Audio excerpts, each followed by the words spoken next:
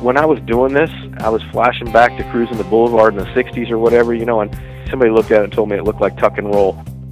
Maybe Barris or somebody would have used this technique. I could see like a, a lowrider, like an Impala, with that on the roof or on the top of the trunk or the hood, and it just gives you sort of a bit of three-dimensionality to it. I did this all with Envirobase, and it worked. It worked really good. I laid down a like a pearl white underneath it first. For the design, I used uh, weird shapes and puzzles and stuff like that. And I think it just gives it a more uh, more of a '60s vibe, you know. Basically, I like to spread them out a little bit or, or separate the colors one from the other. It breaks it up. You wouldn't want to put those things right on top of each other.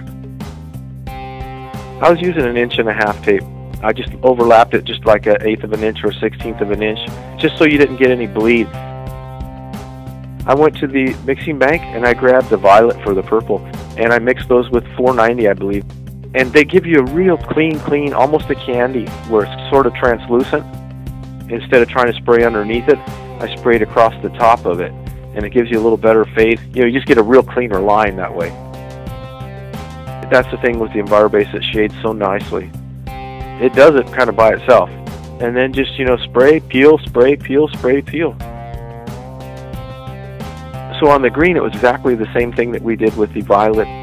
Just used a, a very translucent toner, and it blends out very nicely.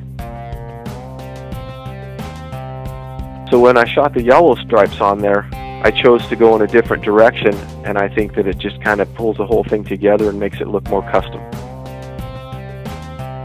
I used uh, EC750. I love those 700s because they dry really fast. It was a wet on wet. You put one coat and come right back, put a second coat, bam, bam, you're done.